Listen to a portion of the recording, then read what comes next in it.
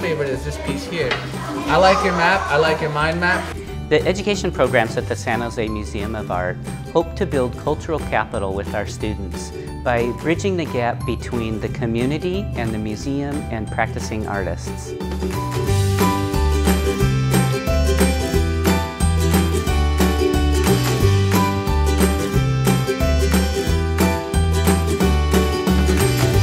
Our education programs provide opportunities for students that might not otherwise have an art program, whether visual or performing arts. In California, it's very rare for an elementary school to have the arts in, in the school, so we provide that much needed resource.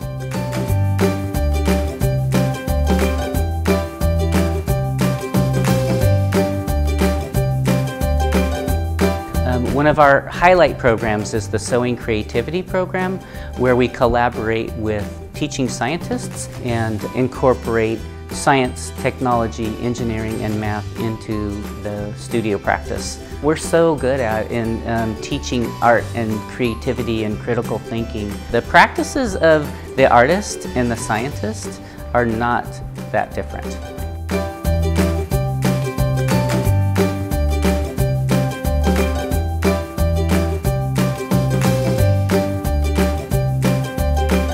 My goal in these classes is to introduce these kids to self-expression, to discovery, and to the process of making art. This is our uh, superfood assignment where they get something healthy they've eaten and make a little character out of it, like a comic book drawing piece.